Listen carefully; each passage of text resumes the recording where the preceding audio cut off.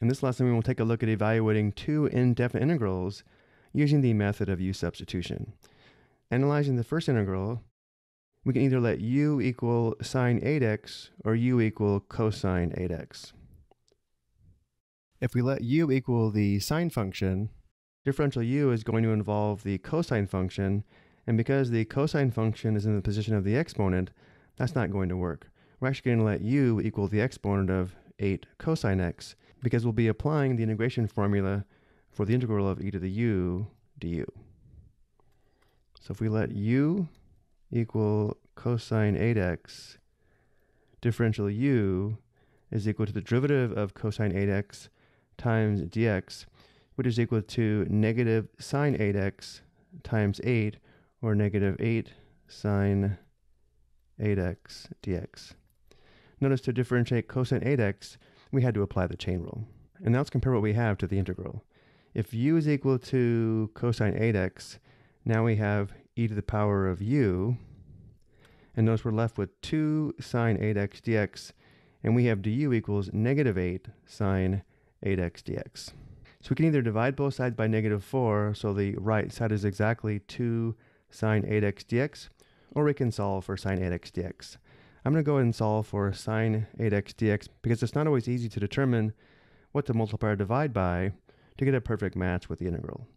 So I'm going to go ahead and divide both sides by negative 8. Simplifying, we have negative 1 eighth du equals sine 8x dx. Which means now we can substitute negative 1 eighth du for sine 8x dx. So let's go ahead and write the integral in terms of u. Let's first factor out the 2, which gives us 2 times the integral. And then again, sine 8x dx is equal to negative 1 8 du. Let's go ahead and factor out the negative 1 8. Then we have du. And then we have e to the power of u, since u is equal to cosine 8x. 2 times negative 1 8 is negative 1 fourth. And the integral of e to the u du is equal to e to the u plus c. So we have negative 1 fourth e to the u plus c. Now we need to write this back in terms of x, where u is equal to cosine 8x. The final antiderivative is negative 1 fourth e to the power of cosine 8x plus c. And we often identify the result of an indefinite integral or the antiderivative using big F of x, where here big F of x, again, is equal to negative 1 fourth times e to the power of cosine 8x plus c, where this is the family of functions whose derivative is equal to the given integrand function. And we say family of functions because remember, c can be any constant. Now looking at our second example, we have a choice of letting u equal cosine x or u equal 3 plus 2 tangent x. Well, if u is equal to cosine x, then differential u is equal to negative sine x times dx, and we don't have a sine function as part of the integral.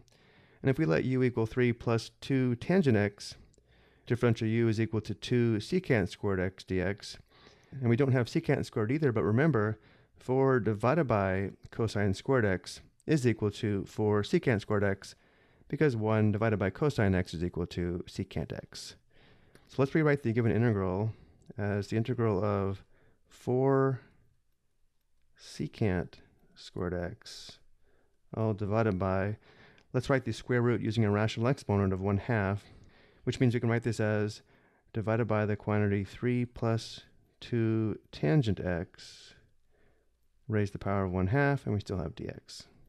So again, now we'll let u equal 3 plus 2 tangent x, and therefore differential u is equal to the derivative of 3 plus 2 tangent x times dx, which gives us 2 secant squared x dx. And now let's compare u and du to the given integral. If u is equal to 3 plus 2 tangent x, the denominator is now u to the power of 1 half, and we're left with 4 secant squared dx. Here we have a choice. We can multiply both sides by 2, so the right side is exactly 4 secant squared x dx or we can solve for secant squared x dx. I'm going to go ahead and solve for secant squared x dx because it's not always easy to determine what to multiply or divide by to get an exact match for the given integral. By dividing both sides by 2, we now know that 1 half du is equal to secant squared x dx, which means we can substitute 1 half du for secant squared x dx, and we can factor out the 4. So let's first factor out the 4, which gives us 4 times the integral. And then again, secant squared x dx is equal to 1 half du. We'll factor out the 1 half. And then we have du. And we have u to the power of 1 half in the denominator. And therefore the integrand function is 1 divided by u to the power of 1 half. 4 times 1 half is 2 times integral of, to apply the power rule of integration, let's write 1 divided by u to the power of 1 half as u to the power of negative 1 half du. And now we integrate with respect to u, giving us 2 times u to the power of negative 1 half plus 1 is positive 1 half, divided by positive 1 half plus c. Let's simplify. Dividing by 1 half is equivalent to multiplying by the reciprocal of 2 over 1, which gives us 2 times 2 over 1, or just 2, times u to the power of positive 1 half plus c. Simplifying and writing back in terms of x, we have 4 times u to the power of 1 half is really 3 plus 2 tangent x to the power of 1 half, and then plus c. If we want to, we can rewrite this as 4 times the square root of the quantity 3 plus 2 tangent x plus c. And again, let's write this as big F of x. Big F of x is equal to 4 times the square root of the quantity 3 plus 2 tangent x plus c. Again, this is the family of functions whose derivative is equal to the given integrand function. I hope you found this helpful.